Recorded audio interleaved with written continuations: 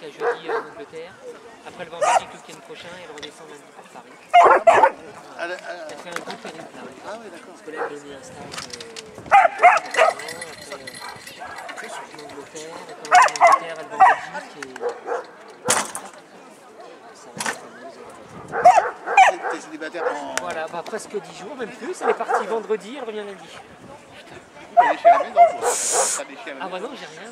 T'as plus rien Ah bah non, bah non, comme Lara, depuis que Lara. Bah oui. Ah Ah, en a emmené deux du coup, là. Bah ouais, là on est les deux. Bon, ils sont en train de me laisser un petit peu.